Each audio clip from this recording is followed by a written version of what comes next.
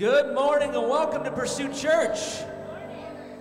It is so, so very good to see you here today. Welcome. We're going to uh, stand. We're going to sing some songs of praise. Welcome to those who are viewing online as well. We are so glad you're here as well. Let's sing some songs. Let's glorify his name. Sing loud so he can hear too. Let's, let's glorify his name.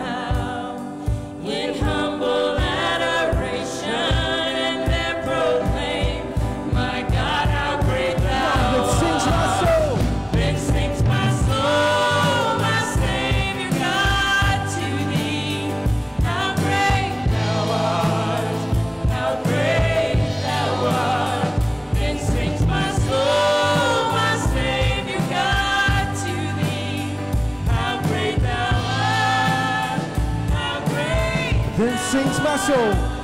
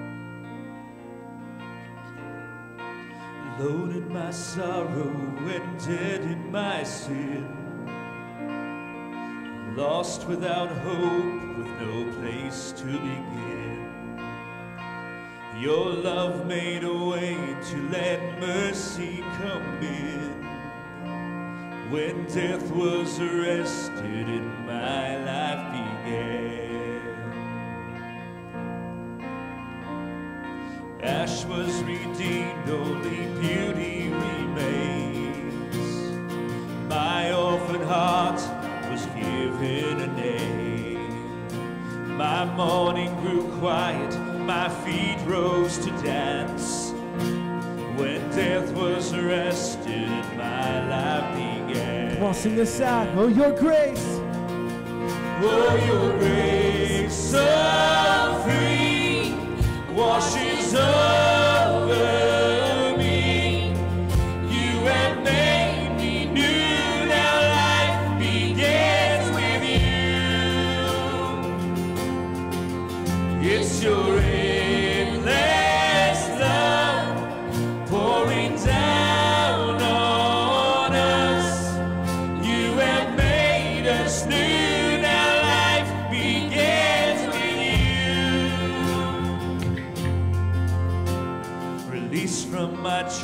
cause I'm a prisoner no more. Amen. My shame was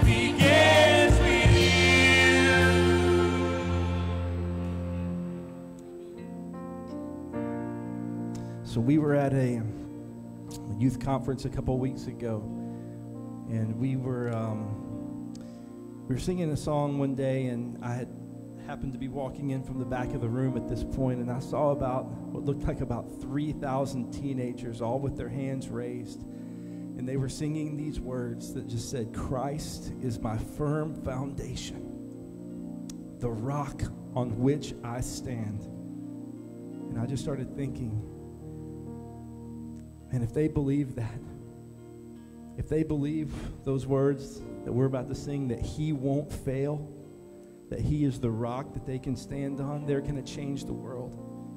And so I thought, man, what if we what if we brought that song and maybe tried to bring that moment back here with us? And so we're going to sing this song together. We're going to teach it to you guys called Firm Foundation. And even if you don't know it yet, that's okay. Once you get the words, make sure you sing loud with us. And if you don't know the words, just kind of let them sweep over you until you get it. But let this be our declaration together this morning that Christ is our firm foundation, the rock on which we stand.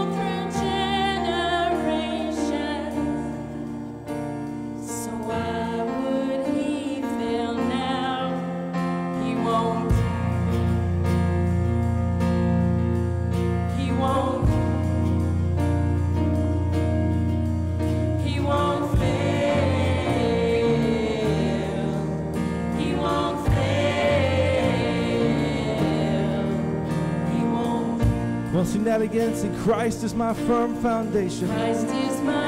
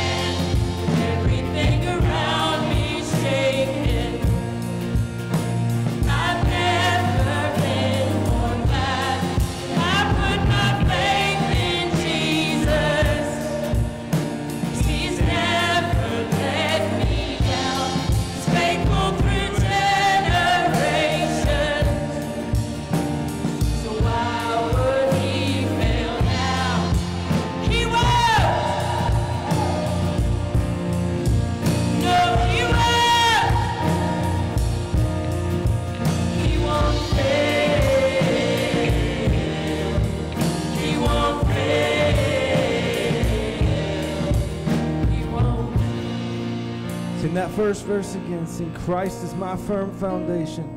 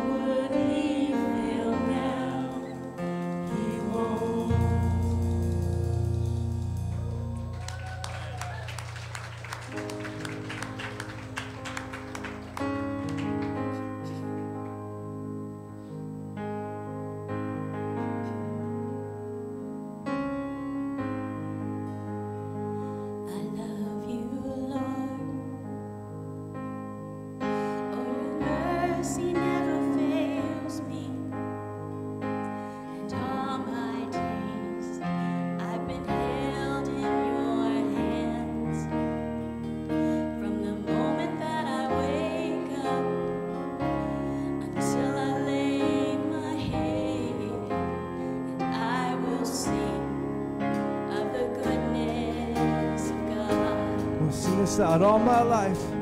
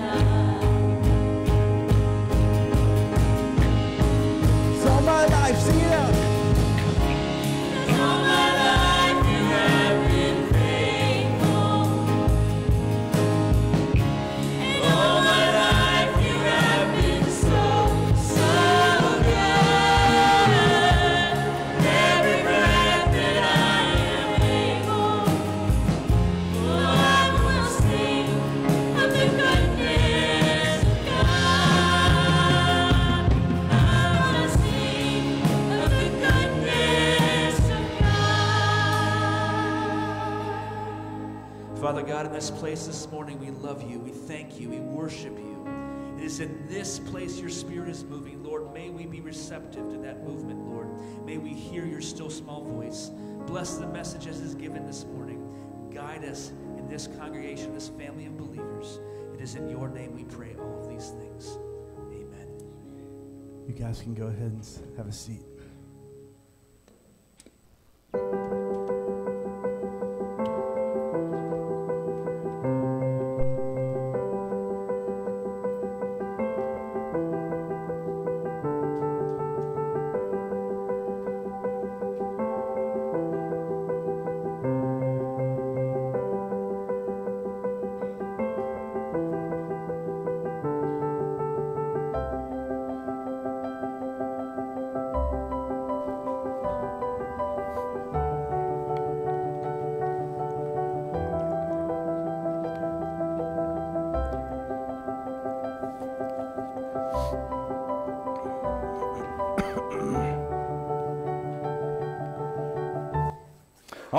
Well, good morning, everybody, again. So glad you guys are all here today. This is going to be an awesome, fun, special day. And uh, we are in week two of a series called Breakthrough. But before we get to that, I want us to pause for just a second and, and pray again because this week something happened in our community. Uh, there's some tornado, a tornado that came through, and uh, people lost their lives. People lost family members. People lost homes, businesses. And uh, we just want to take a second. And I'll, I'll tell you a little bit more about how we are being involved in helping and loving and serving the community. But let's just take a second and let's pray together and ask God to bring some healing to the brokenhearted today, to bring some peace to those who are who are just maybe in some chaos in their soul right now. So bow your heads with me. Let's pray as we get started. Father, thank you for the opportunity to be here. And God, we come with some heavy hearts today as we recognize that there are some people right here in our community who, God, who are hurting and who desperately, desperately need to experience your peace and your grace in their lives today. And God, I pray that you would help us to God, to love them well, but God, I pray that you would give your supernatural peace, a peace that we can't explain to those who need it today. God, that you would bring healing to souls who can't imagine that their soul could be healed from what happened this week. God, we love you and we thank you. And we pray that as we open your word together right now, God, that you would speak to us. God, that you would help us to experience you in a fresh and a new way. It's in Jesus' name we pray. Amen. Amen. Can I just tell you guys something before we jump into this? I am so excited about what's happening in our church, but more specifically, I am excited about what God's doing in our teenagers, with our students. You guys notice that they're up at the front right now? Yeah. And and don't worry, I will pay you what I promised later. But um, but I, I'm just so excited about, and you're going to see in a few minutes how, how God got a hold of some of their hearts a couple weeks ago when we were gone, and they're getting baptized this morning. And, and listen, I'm going to be real honest with you guys. I usually try to talk teenagers and kids out of getting baptized. Let me explain why. That sounds awful. Don't put that like on a video clip and have it everywhere. The reason that I try to talk them out of it is because I want to make sure that they understand the decision that they're making. I want to make sure that they understand fully what it is. And so the Bible doesn't put an age bracket on this. It says repent and be baptized, believe and be baptized. But every single kid and teenager that's getting baptized today, I couldn't talk them out of it. They were like, no, we're doing it. We're doing it. We're doing it. We understand what it means, so it's going to be an exciting day. Now, today we are in week two of a series called Breakthrough, where we are talking about what it looks like in your life for Jesus to set you free in 2023 of something that is holding you back from experiencing Him fully. See, we're told in Scripture that we're supposed to experience the fullness of Christ in our lives, but I believe that many of us are being robbed of that because we are not able to experience it. And maybe you need to experience a breakthrough in 2023. How many of you would love for 2023 to be the best year of your life? Okay, almost everybody. Hopefully, the rest of you will get on board with that at some point. And the idea is, I believe that God has a breakthrough for you. And so, what we're going to do in this series is we're going to take the first few weeks and we're going to look at the anatomy of a breakthrough. What are the necessary things in your life that are needed for a breakthrough moment to happen? And then we're going to look at four specific areas of your life that you may need to experience a breakthrough in. And last week, what we said was that breakthrough begins with passion. With passion. You have to start caring about what is going wrong. And we said this specifically that you need to have what we call a Popeye moment, which says, I've had all I can stand, I can't stands no more. It's got to change. Passion ignites a breakthrough. But I want to tell you guys something maybe even more substantive today. That if you want to sustain your breakthrough, it's going to take consistency. Everybody say consistency. You see, passion ignites a breakthrough. Consistency sustains a breakthrough in your life. And when I say consistency, here's what I'm talking about. I mean, if you say that you have put your trust in Jesus, kind of like what we just sang about, if you have put your trust in Him and His Word, and it is what is most important to you, then I want us, we need to consistently live that out in our lives. But can I tell you guys something? Okay, good. I feel like we have a bit of a consistency problem on our hands. Uh, Jesus in the New Testament may have called this a hypocrite problem, but we're going to be a little bit more nice than Jesus, I guess. Another quote that I don't want you to put on a video and send around. Anyway, we have a consistency problem in our culture where we say we believe something, but we don't live out what we believe. We are inconsistent in how we live our lives. Let me tell you a story to try to illustrate this. It was the summer of 1997. Can anybody remember that far back? Summer of night, no, you can't. Summer of 1997, I was uh, just finished up my junior year of high school, and I was saving up to buy a car, but I didn't have one yet. That was also the summer that I fully dedicated my life to follow Jesus. And I said, and I remember this vividly, there are two things that I'm going to commit my life to. I'm going to commit my life to loving God and loving people, and it's going to be what I do for the rest of my life. And then a few days later, it felt like. I grew up in this small town called Chickamauga, Georgia, and there's not a lot that goes on in Chickamauga, Georgia. But what we would do, me and a couple of my friends, when it would be summer, we would just kind of walk around town and see what was going on, which inevitably always was nothing. But one day we walked around town and we had gotten pretty far away from the house and it was hot and we were thirsty and we are like, we got to get home now. And so we decided to do what you used to be able to do back then. We decided to take the shortcut home. You guys know what the shortcut home is? You cut through people's yards. That's right. You don't take the long way around. You just jump over fences and do whatever you got to do to get the straight shot home. So we started doing that. We were going through fields, cutting through yards. And then I remember this moment. We jumped over a fence into this yard, me and my friend. And we looked over, and about 30 yards from there was a dog. And it looked like a Great Dane mixed with a werewolf kind of thing. It, okay, it was probably a Chihuahua, but this is my story, so I'm going to. And it stared at us for a second, and then it started growling, and then it started moving towards us. And before we know it, the thing's in a full on dead sprint running at us. The Great Dane Wolf is after us. Now, I would like to tell you what I did next. Since I had committed my life to Jesus and I had committed to love God and love people, I would like to tell you that I helped my friend get over the fence and then I jumped over the fence. But what I did do was shove him towards the dog and jumped over the fence.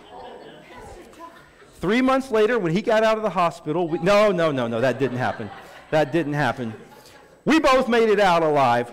But what is that? What is that that we could abandon our principles so quickly, so easily? What is it that makes us abandon? Say, this is what I build my life upon. Love God, love others. And the second that a chihuahua attacks, we try to murder someone. What is that? You see, I think that for all of us, there's this moment, and we're all going to be tempted. Sometimes it's fear. Fear causes us to abandon what we've said. For example, we could say, you know what, I've put my trust in Jesus, I trust him fully, and then we begin to get afraid at something in our life that isn't going to go the way that we think it should go, and so we begin to act inconsistently with what we say we believe about God. Or maybe, maybe it's not fear, maybe it's anger or frustration that happens. Maybe something happens to you or something happens uh, because of you in your life, and you get angry and frustrated and you begin to act out of your character.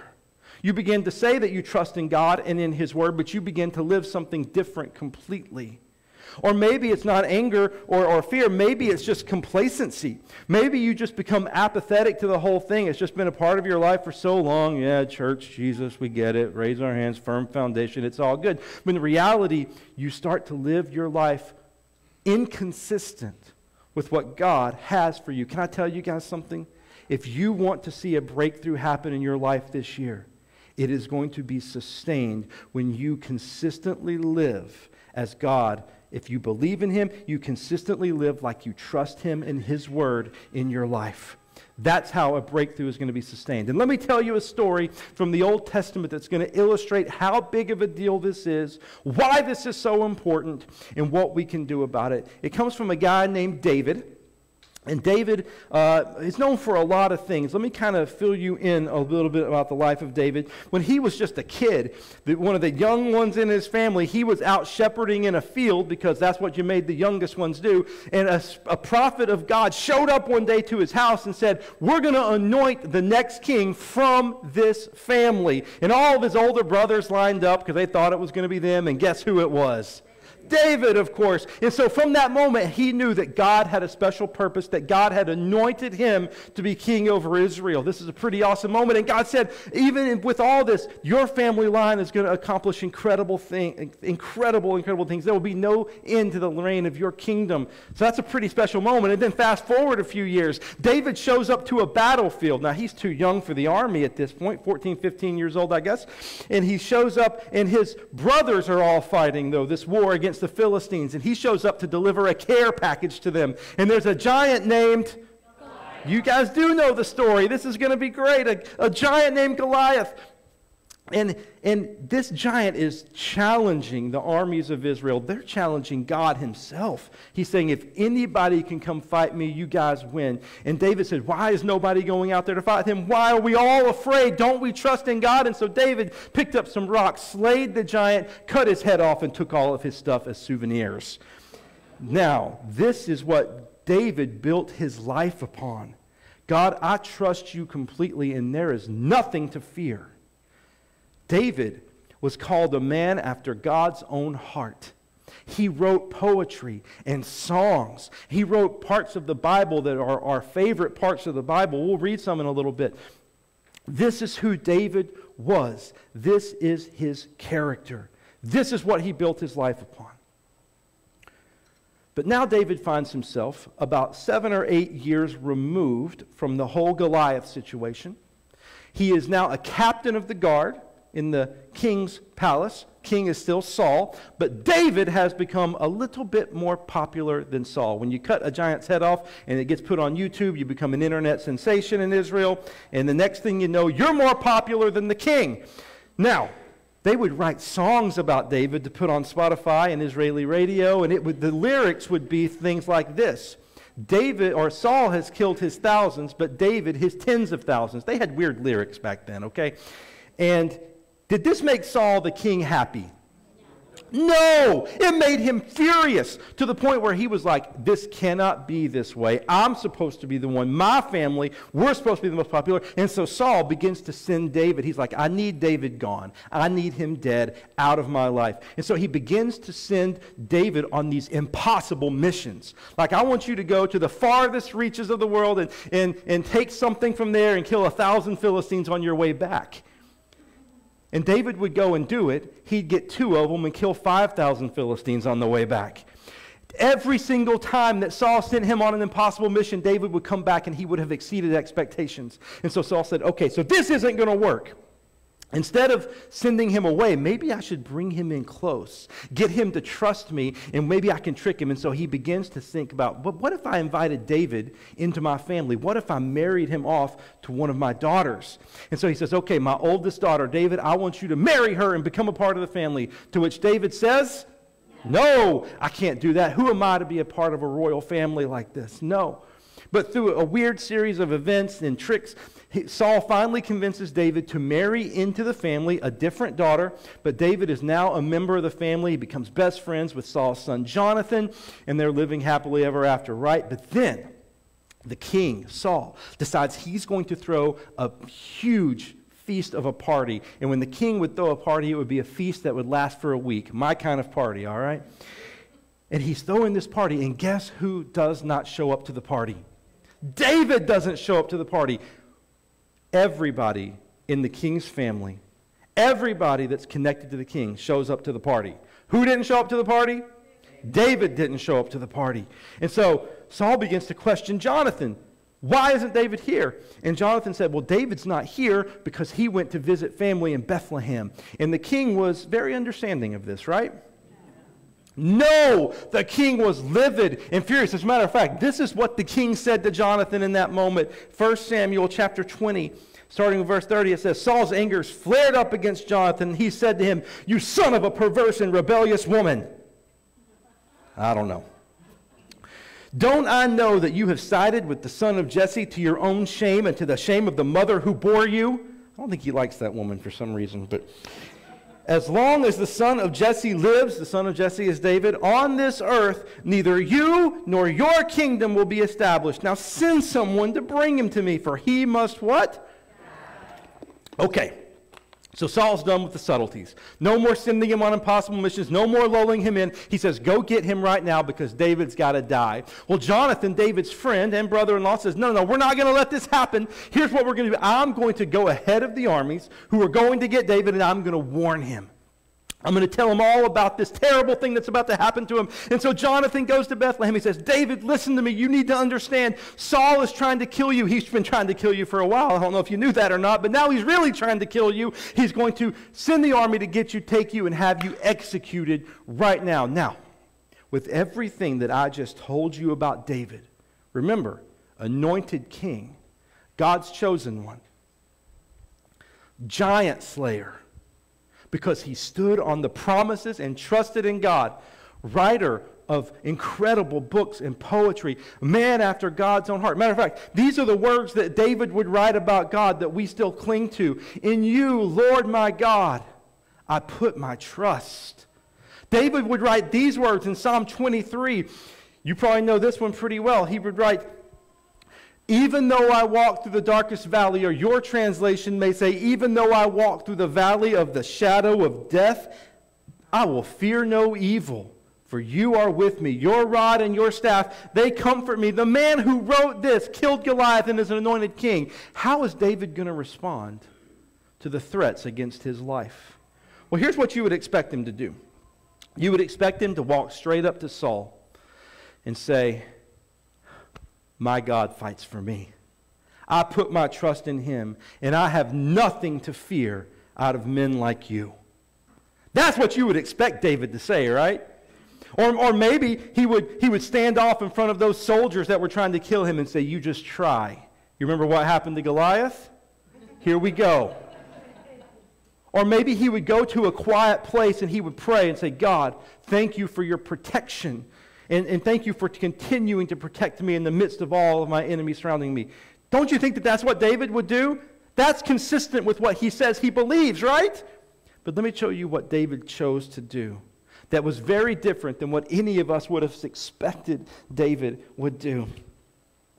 David went to Nob, which is the opposite way. He was running. He was retreating. He went to Nob to Ahimelech, the priest. Ahimelech trembled when he met him and asked, Why are you alone? Why is no one with you? He thought somebody like David was coming to execute him or something. David answered Ahimelech the priest, The king sent me on a mission and said to me, No one is to know anything about the mission I'm sending you on. As for my men, I have told them to meet me at a certain place.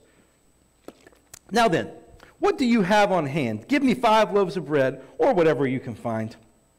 But the priest answered David, Well, I don't have any ordinary bread on hand. However, there is some consecrated bread here. Now, let's take a quick time out to understand what's happening. David, acting so far out of his character, he's now retreating, running from King Saul. He is lying about missions that he's supposed to go on.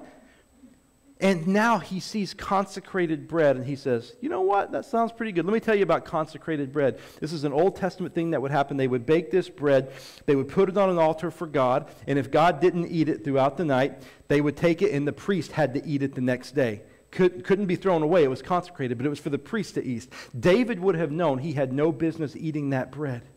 But don't you think that in this moment, when David is talking to the priest and he's holding this consecrated bread, that it would have reminded him, oh, yeah, this is the God that I put my trust in. Oh, why am I running? Why am I lying? God's got my back. Put the bread down and go face Saul head on. Wouldn't you think that would be David's reaction based on his character? But no, no, no, no. Let's see what David does next.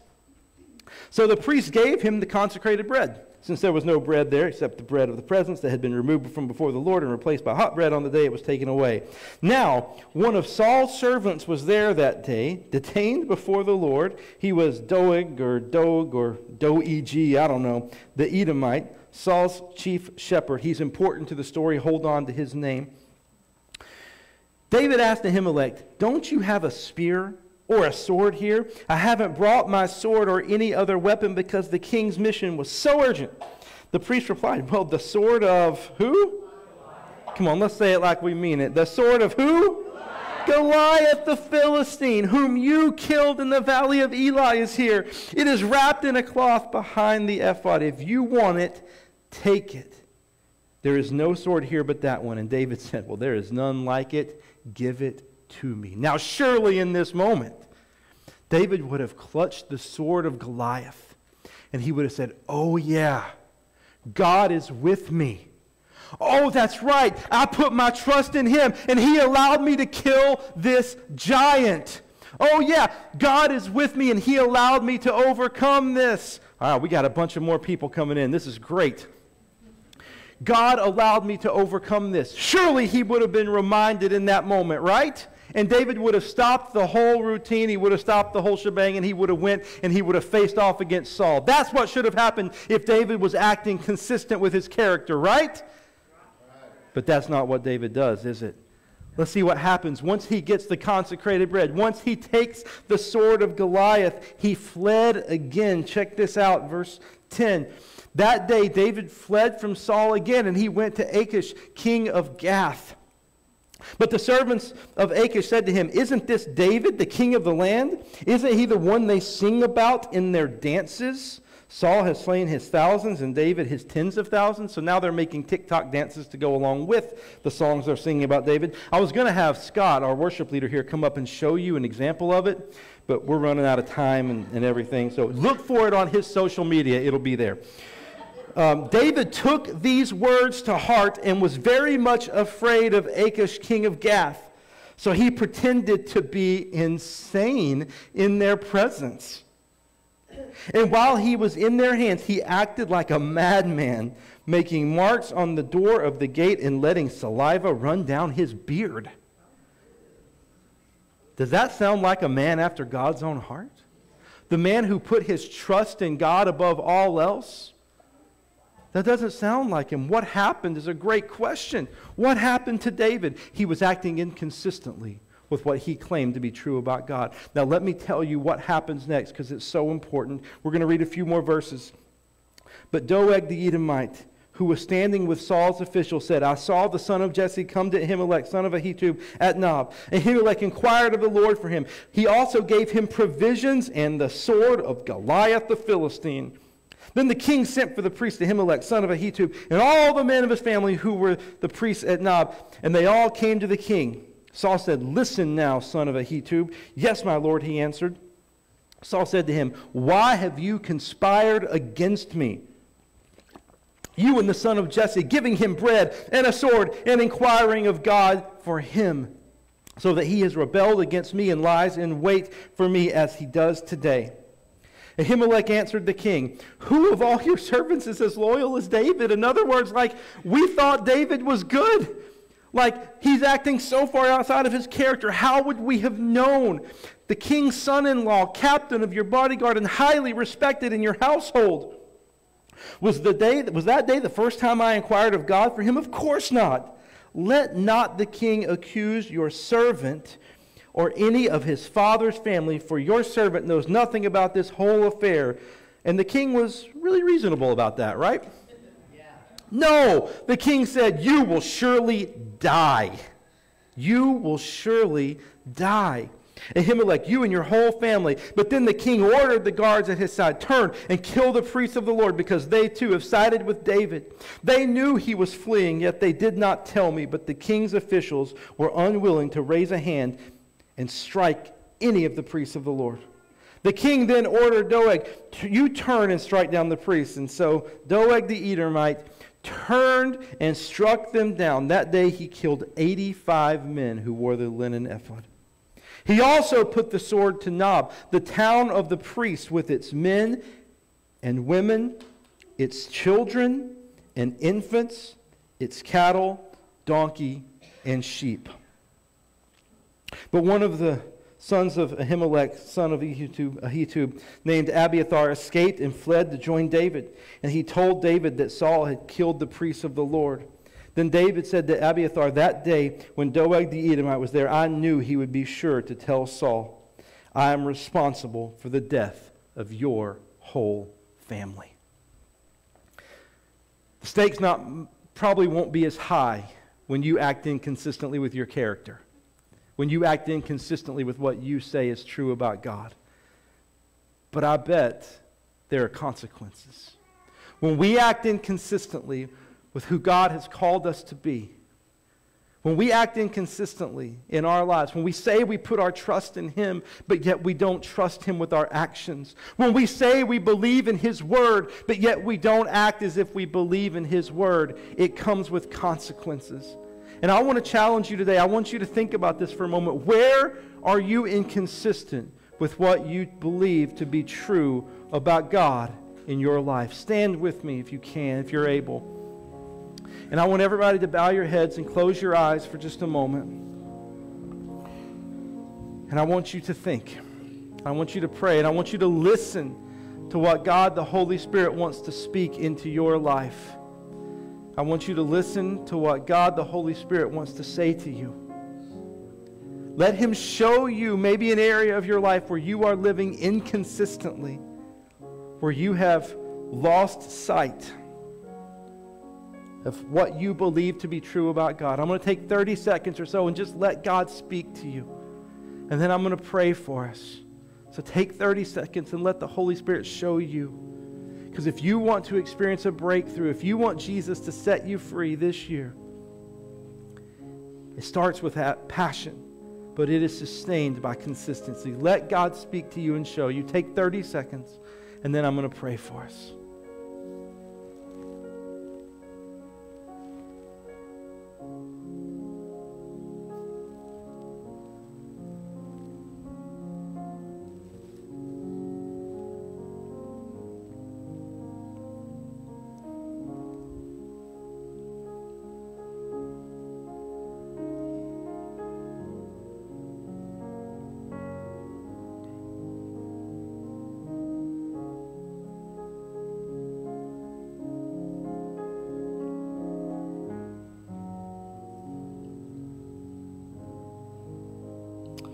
Father, we are so thankful for your word today. God, may it bring conviction where we need conviction, hope where we need hope. God, may it challenge us. And I pray that you would help us today to, God, take some moments to reflect on what we believe to be true of you. That you are a God in whom we can place all of our trust. You are our firm foundation. And God, let us live consistently. Let us make choices. Let us use our words and our actions to live that out. It's in Jesus' name we pray. Amen. You guys can take a seat. I want to tell you guys about a couple more things before we close out with some baptisms today. Number one, I want to tell you guys that I would love for you to take a connection card out of the seat back in front of you, especially if you're new to Pursuit Church. Would love for you to take that out, fill it out. And today, if you are new to Pursuit Church, today is your lucky day because today we are having what we call starting point. And you don't even have to put that on the box because you're just already here. And what starting point is, is if you are looking for an opportunity to learn more about who we are, what we're all about, this is for you. And you get free lunch out of it, which is really awesome. Now, if you have already been at Pursuit Church and you're not new, you can't get free lunch out of it, even though we have a few that continuously try. So if you're new to Pursuit Church and you want to learn more about who we are and how you can be more involved, plan to stick around for about 20, 30 minutes immediately following our time here today. We'll just hang out in the lobby and uh, free lunch for you guys. Also, want to encourage you to continue to support Pursuit Church with your giving, with your tithes, your offerings. Uh, like I mentioned before, um, the tornado relief that we are uh, seeing happen all around our county and our community, we are actively involved in that. Matter of fact, you can check out this picture here that we took, uh, our care and compassion team uh, took this. Uh, they took a bunch of stuff over, some of the supplies, and if you want to participate and continue to help, continue, you can do a couple things. You can continue to support and give to Pursuit Church so that we can continue to love on our community, or this week you can actually bring some of those items, and we're going to send a message out to everybody about how you can be involved. But I want to encourage you to continue to support Pursuit Church with your giving. And one last thing. Um, I told you last week that we were launching a new global initiative uh, down in Guatemala where we are uh, joining some a church that is already doing an incredible work there where they're serving uh, the underfunded, under-resourced kids and families of one of these uh, poorest communities in all of Guatemala. And we are going to be able to provide meals, we're going to be able to provide clean water, medical care, dental care, education, all of those things. Matter of fact, $1 a day provides all of those things for a kid every day. And so we told you that there were three ways that you could go about supporting this mission. The first way that you can go about doing it is by praying, praying for what God is already doing on the ground there. The second way is you can begin thinking about and praying about a missions trip. Later this year, we are going to be actually going down to Guatemala to work with and do some of the feeding of the kids and, and some of the medical days and work with the families in the church. So it's going to absolutely be incredible. Third thing that you can do is you can go out to the lobby immediately following our time here, and you can check out the new table that we have set up for Guatemala, and you can order merchandise shirts, hoodies, soon to be coffee mugs, and those kind of things. And you can already get, okay, apparently they really like the coffee mugs up here. All right, all right, all right. Nobody needs to give them any coffee. Okay, settle in, settle in. And um, you can purchase those, and there are prices. So when you pay $15 for a t shirt here, four of those dollars go straight to Guatemala. When you purchase a hoodie here, for however much it is, a certain percentage of that goes straight to Guatemala. So I want to encourage you to order. We're doing some pre orders of these shirts, and uh, there'll be more every single week and more uh, throughout the year. So make sure you stop back by there. But you can go ahead and start pre ordering today. Now, here's what I would encourage you to do. If you do want to buy a shirt or two or six, we have six different shirts, you can buy them all. Here's what I would encourage you to do. You can buy one or two now, and then maybe another one in a month, and maybe another one a month after that, so that we can stagger how we're giving this money to Guatemala. Or, here's the better plan. You buy all six for you today, then you buy six for your family member next month, then you buy six for your neighbor the next month, then you buy six for your pastor the month after that all the way down the line, okay? So we go outside here in public at Walmart and all we see is Pursuit Church shirts. That's what we want to do. Yeah. So exciting, exciting stuff. Okay. Today, we are going to baptize five people. Yeah. And I tell you again, I tell you again that we had some teenagers whose lives were transformed, not by coffee, but by Jesus down here in the front row. And God has really done a work in their lives. And so here's what we're going to do. I'm going to have uh, I'm going to have all these guys line up. Some of them decided that they were going to do a video. Some of them decided that they were going to speak. The ones that decided on a video are apparently upset about it. So if you are getting baptized today, I would encourage you guys to come on up here to the stage. line up right down here. Come on up. Yep, all the people that are getting lined up. Come on over here to this side. All the way over there. Okay. We are going to start with um, we're going to start with Bella. Come on up. You can go ahead and get in. And Pastor Scott gets to baptize his own daughter. Isn't that awesome? All right, go ahead and sit down. We're going to roll this video. Check this out while she's getting in place. Hi,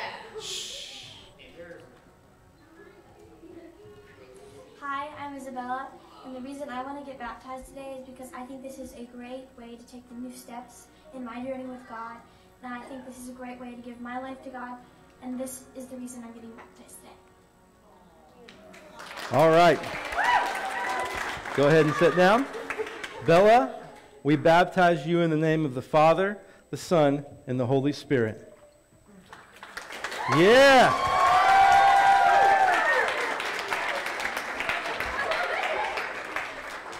All right. Go ahead and, there you go. Stay on the towel for just a moment. All right. Johnny, come on up. Johnny. All right. Check out this video. We're going to get a little more volume on it, too.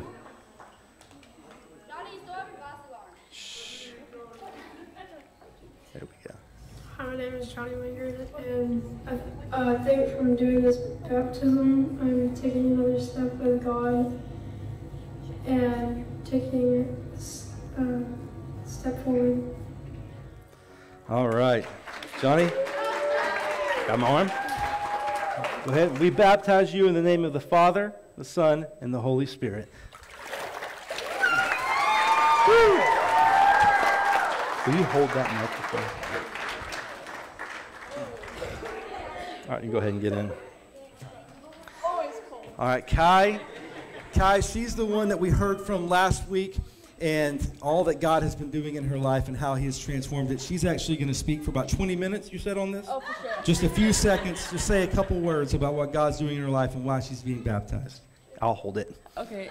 It's basically an outward expe- expression from myself to God that I am surrendering my life to Him. All right. Go ahead and have it. Kai, we baptize you in the name of the Father, the Son, and the Holy Spirit. Yeah.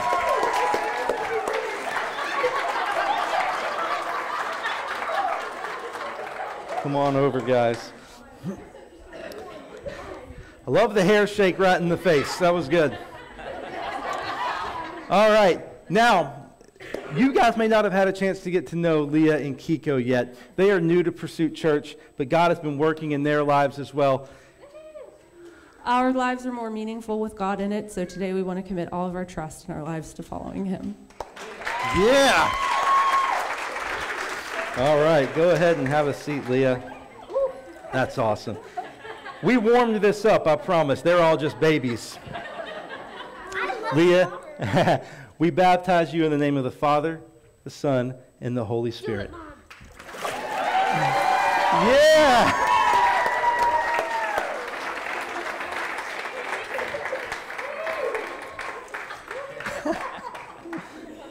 All right, Kiko. All right. It is cold. I know, it's cold. I'll tell you what, I won't keep you in there very long, okay? Okay. All right, step back for me. Go ahead and sit down. All right, here we go. Kiko, we baptize you in the name of the Father, the Son, and the Holy Spirit.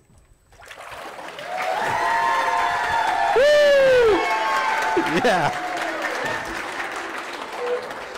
All right. Yes, yes, yes. That is awesome. Now, before we um, before we go, um, there's something that we have started, a tradition that we have now, where if you get baptized in this tank, we're going to have you sign. See, what you guys might not be able to see is right here. We have a name and a date of when a person was baptized. And so this says Lane, April 24th, 2022. And so what we're going to do, we're going to have all five of these people sign their names somewhere around this tank. I believe with all my heart that within these next couple years, we're going to have to retire this. because there's not going to be any space left. Will you guys stand with me as we close out our time together and pray that that would be exactly what happens? That we would have to retire this because God has brought us so many people whose lives have been transformed by His grace and His mercy. Let's pray for that. God, use us as a church. We surrender ourselves to you, much like what we just heard these people saying. God, we surrender ourselves to you. And we ask that you would bring us people who desperately, desperately need to hear your grace and your love. God, that you would send us out to Prattville, to Guatemala, and to the ends of the earth to see people's lives transformed by your grace. God, help us to be so overwhelmed by how many baptisms we have, God, that we don't know what to do with it. It's in Jesus' name we pray. Amen. Amen. Remember, if you're brand new to Pursuit Church, stay for a starting point. If uh, you're not new or you're new, stop by the table for Guatemala, and we'll see you guys back next week at 9:15 or 10:45.